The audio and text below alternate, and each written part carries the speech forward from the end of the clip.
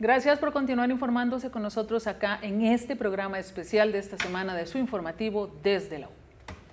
Precisamente vamos a conversar con dos invitados muy especiales, la señora decana de la Facultad de Artes de nuestra universidad y el señor exdirector de la Orquesta Sinfónica de la Universidad de Costa Rica y docente también universitario.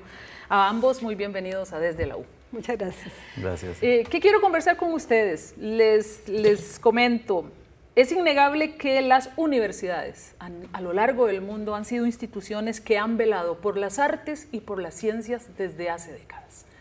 Al respecto, nosotros tenemos nuestra sala magna acá en la Universidad de Costa Rica, que estamos muy contentos con ella y es uno de estos espacios. Señora decana, ¿cómo valoramos este espacio? Bueno, la sala magna realmente es muy importante para la institución, pero yo diría que sobre todo es muy importante para el país.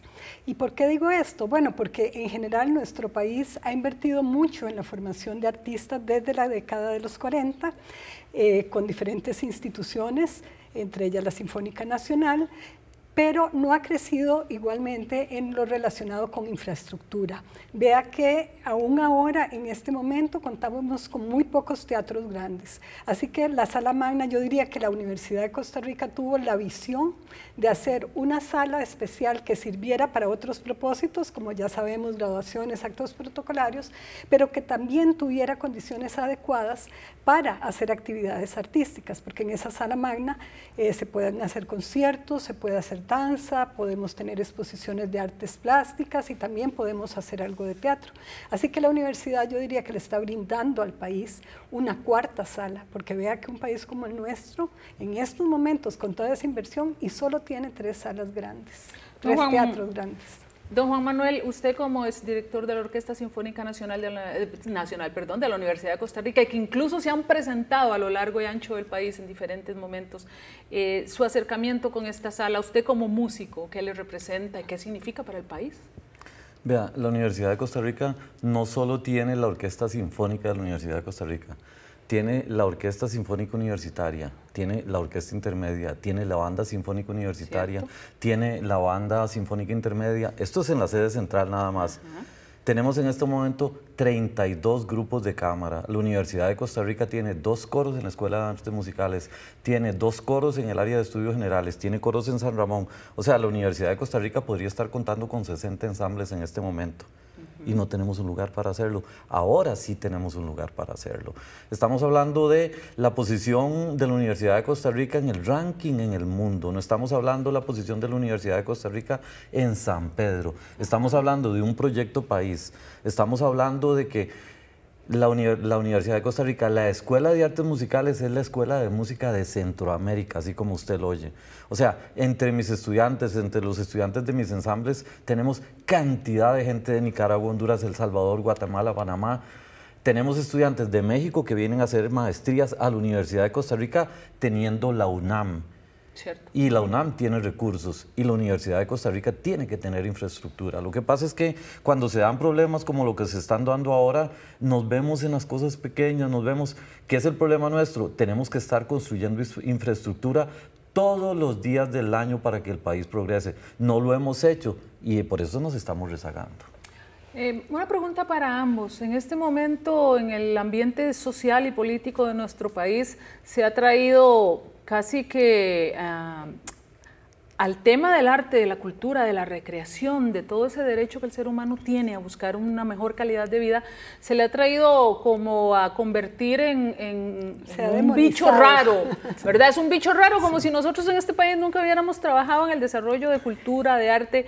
Eh, ¿Qué le decimos a estos, a estos eh, eh, agentes que de alguna manera están tratando de desvalorizar lo que es el arte y la cultura para una sociedad? Yo creo que tal vez la gente no entiende que las artes, los artistas también somos trabajadores y que requerimos, requerimos tener infraestructura adecuada, requerimos tener instrumentos adecuados para hacer de la mejor manera nuestro arte.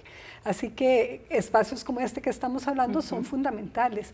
Y porque la gente a veces ve muy directo lo que un médico requiere, lo que un ingeniero, sí. pero los artistas necesitamos también esas herramientas. Y los instrumentos musicales, las salas, los espacios, son lo que permiten que podamos hacer las cosas de mejor manera y que el público también las reciba de mejor manera. ¿Don Juan Manuel, usted? Yo creo que eso es un problema educativo. Sí. Este tipo de cuestionamientos usted no lo oye en sociedades en Corea del Sur, usted no escucha este cuestionamiento. Este cuestionamiento usted nunca lo va a escuchar en Japón. Este cuestionamiento usted no lo va a escuchar en Francia, en Alemania, en Holanda, en Suecia y cualquier cantidad de países le puedo decir. ¿Por qué? Porque es un problema educativo, porque la gente fue educada en el arte y la cultura. No ha sido así en Costa Rica. Entonces, ¿qué es lo que pasa? Que la gente que no ha sido educada así no ve el valor de la cultura. Nos lo dice la neurociencia, el mundo avanza hacia el desarrollo del cerebro de las personas y de las cosas que más desarrollan el cerebro de las personas es la música. En el caso de nosotros, ¿verdad? Tocar el piano, lo dicen los científicos japoneses, es la cosa más compleja a la que puede llegar el cerebro. Entonces, ¿de qué estamos hablando? Cuando en Suiza están poniendo educación todos los días obligado en todas las escuelas y en Japón los niños van a clase de música de las 3 a las 9 de la noche, de lunes a sábado, nuestro ministerio quita la música. Explíqueme. Entonces el problema es educativo. Muy bien, pues a ambos yo creo que ha quedado bastante claro, no solo desde la academia nuestra concepción al respecto, sino ustedes como representantes de estos ámbitos, ¿verdad? Eh, y que con mayor capacidad y fuerza pueden aclararnos a nosotros, las personas, el público que ve nuestro, nuestro programa, a la gente que comparte en redes sociales una serie de cosas al respecto, sin informarse, me parece a mí, sin escuchar las voces de quienes sí pueden darnos una razón de por qué nosotros como universidad sí invertimos a mucho orgullo también en arte, en cultura, en recreación. A ambos muchísimas gracias. Muchas gracias. con mucho gusto. Muy bien, a continuación les presentamos la siguiente nota es necesario que el país invierta en cultura durante lo que algunos llaman tiempos de crisis financiera. La Oficina de Divulgación e Información de nuestra universidad produjo el siguiente audiovisual que hace un llamado a la reflexión, sobre todo ante la coyuntura que enfrentamos en estos momentos. Veamos qué opinan distintos personajes del medio artístico y cultural nacional sobre este planteamiento.